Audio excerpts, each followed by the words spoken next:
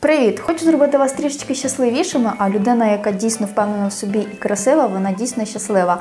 Для того, аби бути красивим, не потрібно витрачати дуже багато грошей, потрібно просто мати ось ці інгредієнти у себе вдома. Сьогодні робимо маску із куркуми та сметани.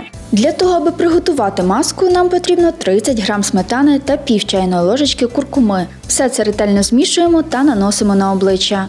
Для зручності прибираємо волосся з обличчя, тому що маски для волосся будемо робити в наступний раз. Сьогодні маски для обличчя.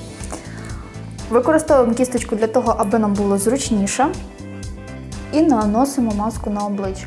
Куркума має бактерицидні і протизапальні властивості. Вона сприяє зменшенню почервоніння на шкірі та дозволяє зменшити темні кола під очима, покращує кровообіг і колір обличчя. Поєднавши куркуму із сметаною, ми створюємо ідеальну зволожуючу маску.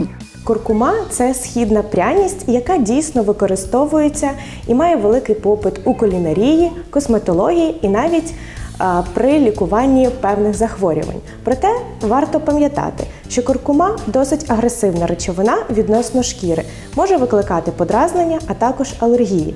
Сметана в своєму складі має молочну кислоту, яка позитивно впливає на шкіру. Проте необхідно пам'ятати також і про жирність. Тому власникам жирної шкіри необхідно пам'ятати про цей момент. Насправді не знаю, як ця маска впоралася з моїми веснянками чи ні, проте хочу сказати точно, що освіжила лице, додала такої легкості, проте використовувати варто перед сном, адже як бачимо, залишає вона такий е, жовтуватий ефект і надалі. Проте це всього лише на кілька годин. І зранку ви прокинетесь і будете почуватися краще і виглядати також краще.